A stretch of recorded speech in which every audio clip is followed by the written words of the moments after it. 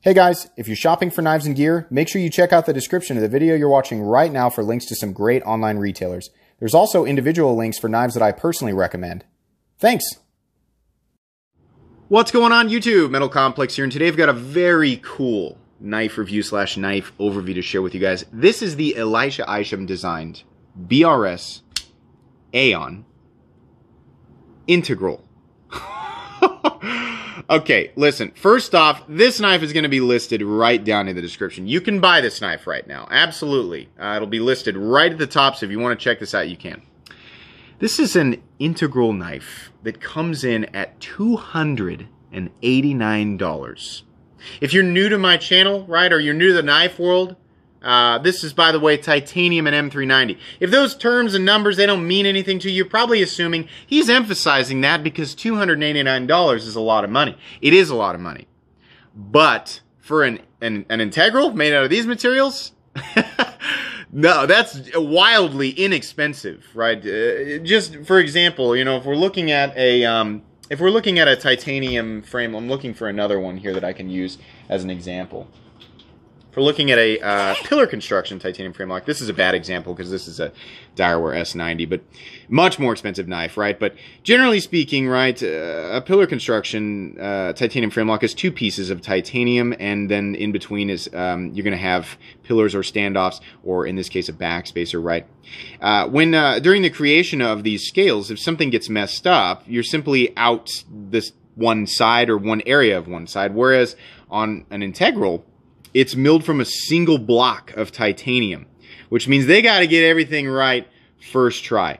That is not a cheap mistake if you mess that up, right? So, any knife, right, you take any model that's a pillar construction frame lock, right, if you made the exact same knife, same materials, everything's exactly the same except it's one piece of titanium, the uh, integral will be more money. Usually substantially more money, right? I understand people want to tell me, TwoSun has integral knives that aren't, you know, that. Uh, uh, I'm sorry.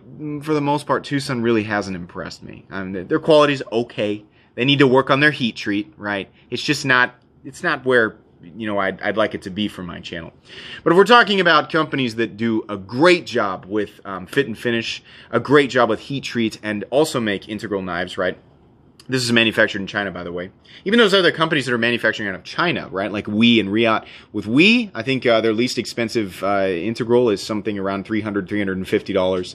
Uh, Reate, you're definitely going to pay more. You're looking at 400 450 500 600 sometimes, right? Benchmade does, uh, they did a, an American in, uh, integral uh, M390 in titanium or 20CV in titanium. They, the, the Anthem came in at $400.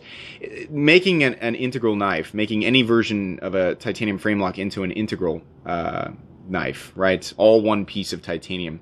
It'll be more money. They really have to get everything right that first try. Um, so that is amazing. I wanted to say that right away that this is just incredible. Um, and we're going to do the full review. Um, but yeah, I, I, wanted to let you guys know right off the bat um, you can find this right down in the description right now. I've actually had this knife before. I had it, and uh, I ended up um, sending it uh, sending it back, thinking that my review was complete. And when I went back to look at the file, I had, for whatever reason, the file was just cut out. It was only half a review. Uh, the the phone had stopped recording in the middle of it, and I was just waiting to upload it, and the knife was already had already been sent back. So, anyways, BRS uh, they were uh, uh, really cool, and, and, they said, "Is there anything you want to check out?" And I said, "Yes, that Elijah Isham uh, Eon uh, integral, absolutely." So they sent this along. Thank you so much, BRS. Um, and thanks to my generous patrons for supporting me right now. Uh, if you'd like to get your hands on some cool stickers and you're also enjoying the daily knife con on this channel and you'd like to support me, you can find my link for Patreon right down in the description. And uh, please follow me on Instagram at metal underscore complex. We're going to get into this here in a sec, but first, let's go ahead. We're really zoomed up today. Well, let's go ahead and get a uh, measurement of this guy. Overall length of the Eon is coming in at eight and a quarter. Blade length is coming in at about, boy, an impressive, really? Almost 3.75 inches on the blade, cutting edge, three and a half inches. And that's really impressive ratios there. Is that right? Did I look at that correctly? That's not normally. Yeah, okay. Uh, how about some size comparisons up against the Ontario Rat Model 1? The Rat 1 is coming in at 8.6 inches overall and just barely fits on camera, just a little bit longer there. How about up against the uh, Spyderco PM2? Spyderco PM2 is coming in at uh, 8.3 inches overall. It looks a little bit shorter, but we're at an angle here, so just remember that. Uh, how about up against the Benchmade Griptilian, or in this case, the Ritter Hogue? Ritter Hogue coming in a little bit shorter at 8 inches overall. How about up against the Spyderco Para 3? Spyderco Para 3 is coming in at 7 and a quarter inches overall. And last but not least, the Benchmade Mini Griptilian coming in at 6.75 inches overall. How's the action on this guy? To my knowledge, this is running on ceramic bearings, and it is nice and smooth. Uh, it does take just a tiny little bit of encouragement uh, right now, but it is, I, I, mean it, guys. This is glassy smooth. The action feels great. Flipping action is great. The detent is good. Um, my suggestion is to really uh, kind of get up on that corner, maybe kind of lean over and touch that jimping just a bit and just kind of flip straight down. It's more of a light switch flipper. The detent is nice and clicky. Like that. No mush. Can you access this area in here? Not really. It's more of a decorative. You can kind of you can grab it like this and open it. Truthfully, I would have liked to see this opening hole extend for this entire area. Maybe if they changed uh, the angle of the flat just slightly, right? So it kind of rose here, and then you'd have this area in here where you could mill an area out, and then you could have done the reverse flick. But this this area right here, unfortunately, is is not functional. They could have added a thumb stud in here. I think that would have been a little bit better. Or they could have just left nothing in there, right? But uh, as of right now, this is just an area that you can look at, and it it looks nice. It keeps. Uh, uh, it gives the blade some character um, that otherwise would just look very plain. So, okay, but the flipper tab works just fine, and there's nothing in the cutting path, so I don't have a problem with that. As you're flipping this, every now and then your finger is going to catch this corner over time. That's going to wear on your finger a little bit it's a slight annoyance if you're going to sit around and fidget with it, but truthfully, the flipping action is great. The flipping action is well done, or the flipper tab is well done. There's no double clutch, right? Clicky detent, check, check, check. Pretty good. Um, let's go ahead and do carry profile. So thickness up against the Spyderco Para 3. This guy's fairly thick. In fact, it's, it is pretty thick. The titanium scales are pretty thick. The blade stock's not overly thick, but the titanium scales are. I don't know that it necessarily needed to be that thick, but it's not crazy. It's not Medford thick or anything like that. Length and height up against two knives with awkward carry profiles nobody ever complains about. The PM2 and Para 3. Why are we so zoomed up today? Oh my gosh. Uh, lengthwise, it is not quite as long as the PM2, definitely longer than the Para 3 in terms of height, including the flipper tab we are just about, not quite, not quite as tall. You can see there. It's tall, but not, not crazy, you know. Really, it's going to be the weight that's going to bother some people. Because this is an integral, you could imagine um, milling out the inside of this is, I don't know if anybody's worked out a way to do that on an, an integral knife, right? So you don't have any milling on the inside of this, and your blade stock thickness is, hang on, Blade stock thickness on this guy is uh, 157,000, so probably 155,000. So I'm going to assume that, that that's normally, usually the blade stock doesn't come in like that. I'm going to assume that's an error on my calipers and it's either 155 or 160, which is what it looks like. So you've got quite a bit of material here. It's not an overly massive knife, but it is fairly thick. I'm going to guess this knife weighs five ounces. Oh, okay. 4.44 ounces. Really not that bad. It's over the 4 ounce mark. It's over the ounce and inch uh, mark. But for full titanium, it's a full size knife. Full thickness, unmilled titanium scales, right? Um, I'm kind of impressed with the weight. Where's the balance at? Uh, yeah, okay. It's right there where you're going to put your index finger. Okay. wow. All right. That was surprising. I never weigh knives until they get on camera. I like to, you know, give you guys my thoughts on how it feels and what it actually is, right? So there you go.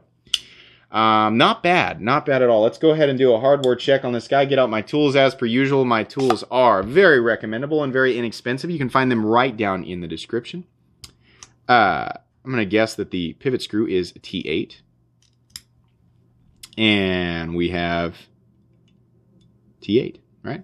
And the body screws are, uh, well, the body screw on this area right here. That's going to be a T6 on the pocket clip. And that's it, because this is an integral. There's no other body screws. That's great. I love, Love integral knives. You don't have to worry about what's adjusted. With is, I'm, is one of my screws going to back out? Right? Am I? Do I have everything lined up correctly? You don't have to. It's all one piece of titanium. That's great. The only thing you have to worry about is the pocket clip screw. Nobody ever has to worry about this screw. Don't mess with that screw. That's the insert screw, right? And then there's the pivot.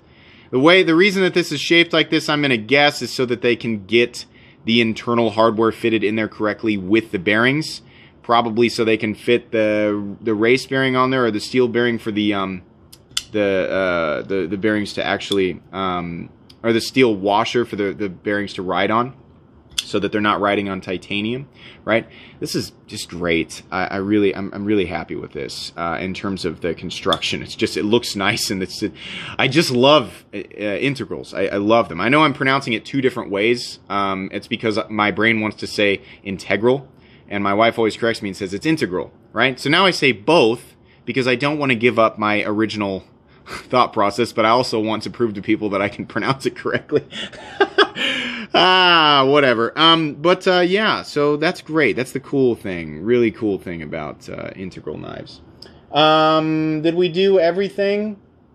I think we did. I think we did everything. Let's go ahead and move on to the anatomy. So we have a bead blasted titanium frame, which with some really interesting. You know, for an Elijah Isham design, it's really pretty mild. Usually Elijah Isham likes to create what looks like a robot spider web with a blade on it. That's nothing against Elijah Isham. His that everybody knows his designs. They're so right. They're they're they're, they're so uh, intricate and detailed and complex, and he still manages to create ergonomics in these things. Right? It's really really wild. This is a much more mild design. In fact, if it didn't say Elijah Isham on the listing for it, um, then I wouldn't have known. Uh, the only thing that's on this blade, by the way, is the Evolve logo, the BRS Evolve logo, and then that's it. I don't even think it shows the blade steel anywhere, which is truthfully something that I appreciate, right? I know what blade steel it is. I bought it. I paid two, you know, in this hypothetical circumstance where I picked this up, I paid $290 for it. Not many people are going to spend that much money on a knife without knowing what it's made out of. So that's fine right? I also don't mind if the blade steel is on the blade. What I don't like is, you know, K100210210210 or www.blablabla.com, my aunt's blood type and the name of her dog, right? I don't need I don't need that. So this is great that we have just the Evolve logo and nothing else on it. Um, but as far as the lines here, the milling, this has all been milled and it looks nice and it looks like really aggressive and kind of crazy, like it might be uncomfortable in the hand, but truthfully, no. It's very comfortable. The edges have all been nicely knocked down. This is all very smooth and comfortable. The pocket clip does not come to a sharp point or anything like that. The pocket clip is kind of thick. It's kind of excessively thick, right? So that's the part that might create a little bit of an obnoxious zone for some people, but not not really, right? Everything's nice and smooth. This area right here is nicely cut out and will fully accept two full fingers unless you have giant, giant hands, right? I wear an XL size glove, which means basically an average hand. I can get a full four finger grip on this guy and it is quite comfortable. Because of the shape of the flipper tab, it's not super aggressive right here. The jimping's not aggressive, which means you can go to town on this guy. You can go ahead and continuously use it, right? There is a sharpening choil here. It is not a forward choil. Don't, don't try to put your finger up there. You're not super far away from the blade. You're a decent amount, but I don't think it's an issue. There's nothing in the cutting path. I, I really, really like the ergonomic lines on this. I, I I'm, I'm happy with, with how they did this. It's it's very comfortable. The blade is very functional. We have this sort of sheep's footy, Elijah Ishami sheep's footy drop point, super weird thing going on. Lots of belly, usable belly. This is of course M390, so you're going to have excellent edge retention and excellent corrosion resistance. The corners up here on the blade have been nicely knocked down. There's a beautiful tumbling going on here. We have some, kind of a, a satin flat, right, and then contrast with the tumbling. Uh, the swedge looks nice. There's plenty of durability, plenty of robustness out to the tip and there's plenty of material out here. I wouldn't call the tip delicate. You got a nice puncture tip, right? This is going to be a great blade for EDC. Behind the edge, it is somewhat thick, I'm not going to call it thick, right? But it'll still slice, it'll still cut, it'll make short work of your EDC style tasks. And if you want to go out and really beat on this thing, you're good to go. This is a titanium frame lock and it is an integral. So you do have some extra fortification there. Um, is it going to be that much stronger than a titanium frame lock? I don't know uh, exactly how you might measure that, but I'm going to feel more confident right? Just because there's less hardware, there's less stuff that can fly off or try to move around, right? If the tolerances weren't exactly perfect on a pillar construction version of this knife and stuff's moving around, right, then maybe it's going to cause it. You don't have to worry about that. Nothing's going to move on this guy because it's all one piece of titanium. It's great. Um, I like that. And I'm talking about you know, basically, I know people say, that still has hardware, it could technically, technically move, but I'm talking about two pieces of titanium being held together with a backspacer and multiple screws and standoffs. If the tolerances weren't perfect and things were moving around, then it would ultimately adjust, you know, potentially the lockup percentage or the lockup geometry, right? Or how the blade interacts with the stop pin and how it nests into the frame, right? The the th the only way that this blade's going to come off center is if the pivot screw backs out just a little bit. It has nothing to do on a, you know, like with a standard you know, uh, frame lock knife that's pillar construction, uh, and a slight adjustment in one of the body screws can actually cause something to come off center, or the blade to come off center, or adjust in a weird way, right? Not on this guy. You don't have to worry about that. It's either, yeah, just crank the pivot back down, right? You, are good to go. Um, the blade is great. I there, There's nothing to complain about with the blade. Um, no double clutch on this guy. Nice and smooth. Very, very satisfying. Uh, the back of this, I think this looks nice, right? They just have the three downward arrows, kind of looks like a chevron pattern, right? Uh, I think it has something to do with the Evolve logo. It's fine. It looks nice. I love how the back of these look because it's just a just a big brick of titanium, right? It's nice. Pocket clip, pretty good. Um, there is a lanyard hole. It's not being prioritized over the pocket clip, so that's fine. I don't care that it's there. This is going to carry about right here. Not a lot sticking up out of your pocket. And I believe the, uh, yeah, the pocket clip is nested into the titanium frame, which means it's not going to move. Um, this does have a continuous ramp, so it's going to rise to meet um, your uh, uh, uh, uh pocket seam. Brain fart there. It's going to rise to meet whatever thickness of pocket seam that uh, you know you're working with, right? So that's fine. The pocket clip is just big and thick. It doesn't need to be this tall. It could actually be just a little bit shorter. It's okay though, right? It's not that big of a deal. It doesn't cause that much of an issue in hand. I never talked about who might be, you know, bothered by carrying this. Truthfully, you know, this is a fairly thick knife. Um, it's not super duper heavy, but, you know, and it's not super wide or super long, but it is fairly thick. So if you're wearing thin pants, right? Or you wear athletic shorts on a day to day basis, you're wearing fitted dress pants, this probably isn't going to be your thing. Or at least if you force it, it's not going to be comfortable. In jeans, no problem at all. In and out of the pocket, it's easy, no issue. We have a steel lock bar insert that is doubling as the over travel stop. Um, you can see right there, I think Sorry about that. I had to cut the video because apparently I reached maximum file size. But anyways, uh, there's the steel lock bar insert that doubles as the over travel stop. You can see we're locking up here at a perfectly acceptable 25% or so, and the blade comes perfectly, perfectly centered. Um, there is no blade play up, down, left, or right. The stop pin is right here, and you can see there's lots of shouldering wrapping right around there. That's nice. Uh, yeah, everything's great here. Everything is great. This is awesome. What what can I complain about? This area right here, you flip it at the wrong angle, you're going to run into that corner. You really need to light switch it, right? Um, a little bit thick behind the edge, not bad. You can't access this area right. You can, but it's not comfortable. This whole area needs to be the opening slot. That would have been much better, right? Truth be told, there is a little bit of a sharp spot right here, but when are you going to be interacting with that? Not not often, right? Pocket clip's a little bit thick. It's a little bit excessive. And, and truth be told, the scales are a little bit thick and obsessive, right? Uh, they don't need to be that thick, but it's kind of neat that they are. I kind of like it, right? Integral knives have this very robust very powerful feel about them. So if you're you're into that, I kind of like some excess thickness in my knives personally, but I know a lot of people don't. It does fill the hand and it does give you um, a feeling of confidence, right?